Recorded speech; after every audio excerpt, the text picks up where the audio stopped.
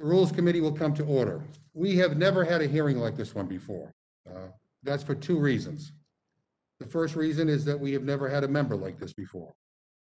She has encouraged violence against members of this institution, going so far as agreeing with a comment that advocated for putting a bullet in the head of the Speaker of the House of Representatives.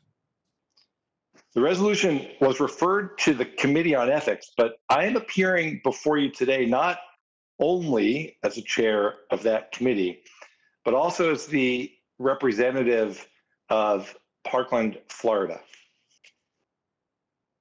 Prior to her election, Representative Greene engaged in a long pattern of threatening and dangerous conduct against the survivors of the shooting at Marjory Stoneman Douglas High School.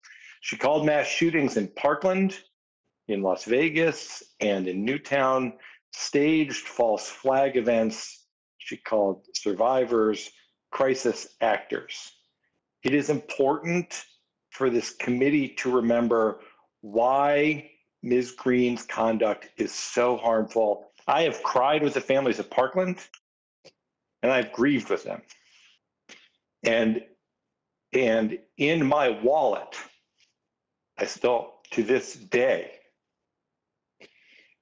carry a sheet of paper with the names of their loved ones. Alyssa Alhadeff and Scott Beigel and Martin Duque and Nick Dworet and Aaron Feis and Jaime Guttenberg and Chris Hixon and Luke Hoyer and Cara Loughran and Gina Montalto and Joaquin Oliver and Alaina Petty and Meadow Pollack and Helena Ramsay and Alex Schachter and Carmen Schentrup and Peter Wang. There are not words in the English language to properly describe how the remarks of Ms. Greene makes these communities feel.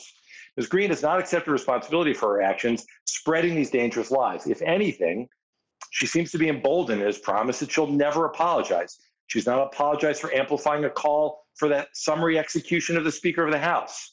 When promoting a rally in Washington, D.C., she called for a takeover of the Capitol with violence if necessary. She said that Congress is nothing and they should fear us. They should be cowering in fear. Now look at where we are one month removed from a deadly insurrection. What have Republican leaders said in response to these comments as Ms. Greene joined their ranks? Not enough. It would be impossible to maintain civic confidence in the integrity of the House if we were to normalize Ms. Greene's behavior. We must affirm that this type of behavior is not now, will not be tomorrow, and will never be tolerated in the United States Congress.